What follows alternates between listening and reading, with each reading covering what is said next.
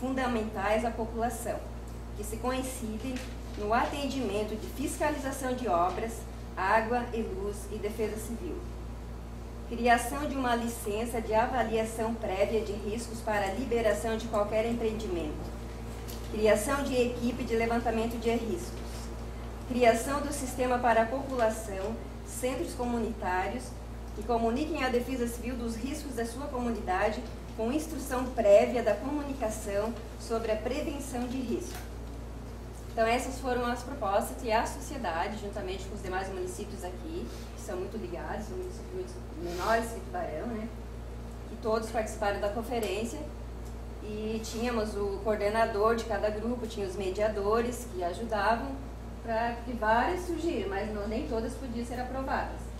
E nós levamos a conferência estadual, como eu já falei, e hoje o nosso coordenador está lá representando o nosso município, nossa região. E a gente está torcendo para que essas propostas sejam aprovadas, porque sendo aprovadas, com certeza a gente vai ter uma, né, um amparo melhor, tanto nacional como estadual. E hoje o nosso município ele já, já existe uma defesa civil.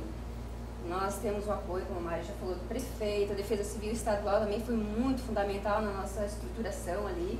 E é, no início, quem veio os primeiros funcionários da Defesa Civil em 2009, que se iniciou, eu e o Mário.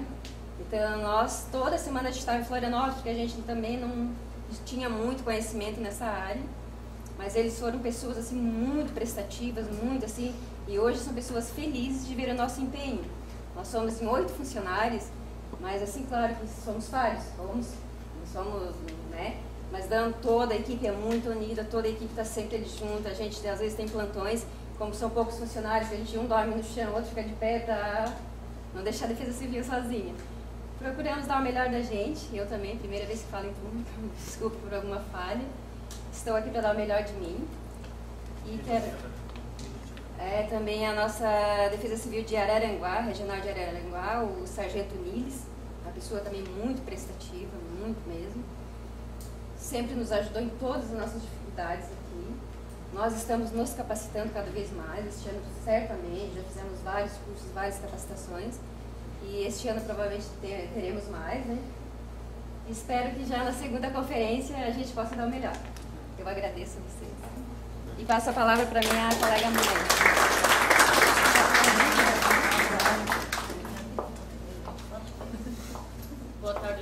Maria. falar um pouquinho sobre a nossa campanha de ajuda ao Haiti, que é, envolveu a Defesa Civil agora nos últimos 40 dias. Desculpa, mas eu vou sair do microfone. Tá, o motivo, então o motivo que nos traz todos aqui hoje é a enchente de 74. Isso a gente sabemos que na enchente de 74 então, assolou Tubarão, causou muitos desalojados, desabrigados e muitas vítimas, né? Até um número agora, questão que muitos não concordam com a quantidade de mortes, de vítimas. Então, o Tubarão, na época, a gente sabe que teve ajuda de vários estados do Brasil e do mundo todo. Visto que a Defesa Civil da estadual e a nacional se engajaram agora em ajuda ao Haiti, esse terremoto que aconteceu no mês de janeiro, nós encorajamos também a participar junto com eles. Então, a gente, nós da Defesa Civil do Tubarão, na, junto com o governador e com todo o apoio do nosso prefeito municipal, a gente está fazendo fez uma campanha essa campanha ela começou no dia 1 de fevereiro e se estendeu até o dia 12 de março. A princípio foi bem difícil, tivemos 40 dias assim bem que foi trabalhado arduamente essas oito pessoas a princípio.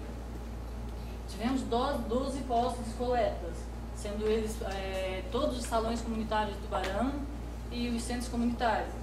10 postos, 12. Depois a gente viu que estava sendo muito fraco, a gente resolveu envolver, assim, envolvemos outras igrejas, todos os postos municipais dos bairros, algumas escolas do município, algumas dos estados, e podemos dizer que nosso, a nossa campanha, sim, conseguimos alcançar nossos objetivos. Todos os produtos que a gente arrecadou e também o tipo de produto que a gente buscou foi água potável, material de limpeza e material de higiene. Por que esses produtos e não alimento? Foi orientação da Defesa Civil Nacional, não mandasse alimento, nem roupa, essas coisas, que teria que fazer triagem e demoraria, demoraria muito para chegar lá. Então, a gente arrecadou esse produto. Então, esses produtos também que foram arrecadados, hoje eles estão todos lá na ferrovia, a gente está acabando de embalar tudo, paletizar, eles vão todos ser transportados em pallets de 1 por 1,20. E eles, assim, uma coisa importante é que esses produtos eles não vão ser feitos triagem em cidade alguma. Eles vão sair da ferrovia pela Alcoa, vai ser transportado até o aeroporto do Rio de Janeiro, lá no Galeão, né? E de lá vai ser... É, vai pela FAB, direto pelo Haiti, pela Força Aérea, né? E não vai ser feito triagem. Então ele saiu do, daqui, ele vai até o Rio, do Rio ele vai para o Haiti, e lá quem vai receber é o Exército e a Cruz Vermelha. Podemos dizer então, gente, que foi assim 40 dias árduo com pouca gente. Depois tivemos a ajuda de algumas empresas, não vou citar nome aqui porque foram várias. A princípio, quem nos apoiou mesmo, embarcou com a gente, foi a Alcoa, a Tractebel, a Ferrovia e o Exército. Ele nos ajudou dando 10 soldados para colocar um em cada posto de, de coleta. Também a Guarda Municipal disponibilizou os nos dias para a gente, que não dá para citar o nome de todos. Nós pudemos dizer assim que o nosso esforço foi compensador bem compensador mesmo. E conseguimos um objetivo que está mandando bastante produtos. É isso que eu tinha para passar para vocês hoje. Agradeço, E agora a minha colega nova vai continuar falando. Boa tarde, pessoal. É um prazer estar aqui com vocês hoje. Vou falar sobre o projeto da educação. É há um ano que eu trabalho na, na Defesa Civil, fui convidada pelo nosso coordenador Aí eu cheguei para o nosso coordenador e Zé Luiz, o que, é que tu gostaria que eu fizesse na Defesa Civil? Norminha, eu quero implantar a Defesa Civil na rede escolar. Então tá, então em 2009 nós é, elaboramos um projeto. Na escola, a Defesa Civil faz a diferença. Iniciamos com esse projeto, um projeto piloto, tá? Para as escolas da rede municipal, que abrange oito escolas, tá? É, 40 professores e vamos beneficiar 1.100 alunos da nossa rede. Né? Iniciamos agora o projeto propriamente dito em fevereiro desse ano. É, é, um, falhou. Iniciamos agora né, em fevereiro. É uma capacitação para esses 40 professores, né, que são 20 horas presenciais e 20 horas à distância. Nessas 20 horas presenciais, nós tivemos o apoio da professora Eliane Volpato, do engenheiro Léo Goulart, do sargento Niles de Araranguá, que é da Defesa Civil, mas está em Araranguá, e da Rita, Rita de Cássia, da Defesa Civil do Estado. A Eliane, o que, que a professora Eliane é, colocou nessa palestra? Assim, ela quis transmitir a responsabilidade que os professores têm, tá? E também um compromisso, porque a Defesa Civil não sou eu, não sou a Elna, não é o, o coordenador, é toda a comunidade. Então ela puxou esses professores para o compromisso. O engenheiro Léo Goulart mostrando os pontos críticos da nossa cidade, né? E o sargento Niles, a parte teórica do que é a defesa civil. E a Rita de Cássia também, a parte teórica, mas puxando para quê?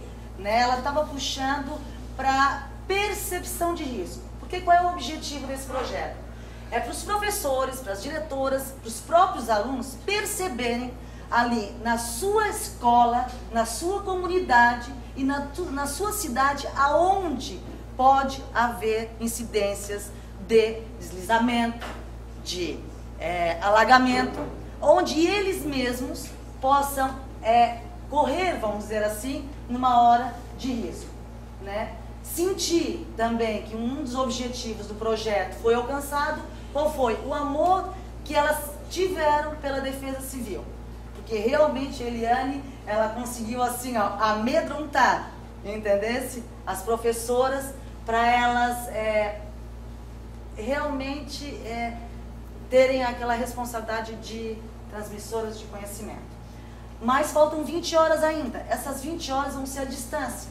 Como, como funciona? É, elas foram para as suas escolas, lá elas vão fazer mini projetos com seus alunos, né? E trabalhar a defesa civil na escola. Uma coisa que me chamou a atenção foi o seguinte, a professora Eliane, ela, da autoria dela, né? Ela fez um texto, e nesse texto são as quatro estações do ano. O antes, o que está acontecendo, e o depois, o que pode acontecer se nós não se precavermos, né? Então terminou a palestra da professora Eliane e veio uma professora lá de trás, um olhinho arregaladinho assim. Professora Eliane, eu posso utilizar esse, esse texto para fazer um teatro com meus alunos? A Eliane, claro, na mesma hora autorizou, né?